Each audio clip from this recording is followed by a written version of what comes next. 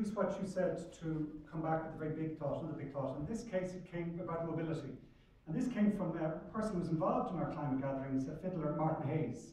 I'm sure know him, brilliant. And he, he's the best political brain I've met in a long time. And he said something very simple about what's going on in the world. He says, it's so obvious and simple, but it can, capital can move so fast. It can go across the world at any speed of time, speed of light. Labour is slow moving. See it in the migration that's happening now. And natural capital is pretty much static. And in the, it's, it's, it's in the, the difference in the speeds between the three factors of production is giving capital an undue advantage. And that is up to the political system to redress it.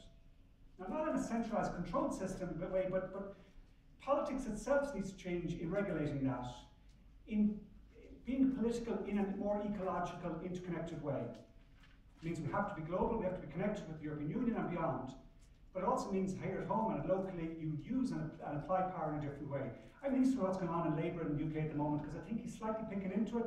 Jeremy Corbyn, what, he's, what that crowd's coming for is that type of politics, which is slightly respectful, listening to people, more willing to be bottom up. Obama had it too when he, when he was running for office. The SNP had it in the referendum campaign.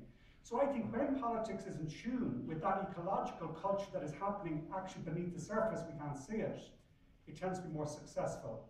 And the job is to both regulate global capital and the speed and the uh, influence it has because the speed it has, and to get that sort of flexibility at the local level so you're meeting people's needs.